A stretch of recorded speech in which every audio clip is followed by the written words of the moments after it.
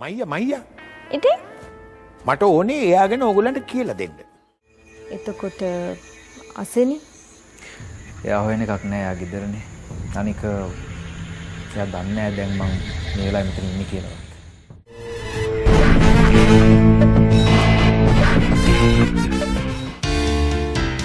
මිලින්දගේ plan එක අවසන් අදියරේ අද අසේනි දකිනවා මහි වෙන කෙල්ලෙක් එක්ක හොටෙල් රූම් එකක ඉන්නවා ඉතින් අද මොනවවෙයිද අනිවාරෙන්ම අසේනි මහිව වැරදියට තේරුම් ගන්නවා.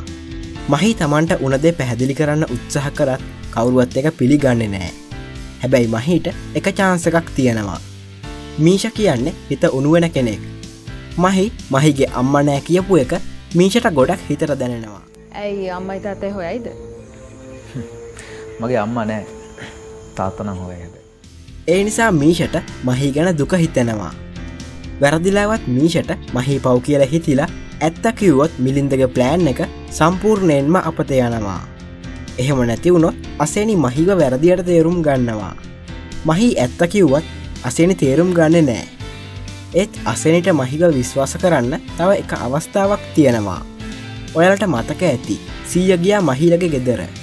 ඒ වෙලාවේ මහිගේ ගෙදරින් කියනවා මහි ගිය මීටිනයකට යනවා කියලා. ඉතින් මේ නිසා අසනට තේරෙනවා මහි කියන්න බොරු නෙමෙයි කියලා. මේක කල්පනගේ ප්ලෑන් එකක් කියලා අසනි දැනගන්නවා.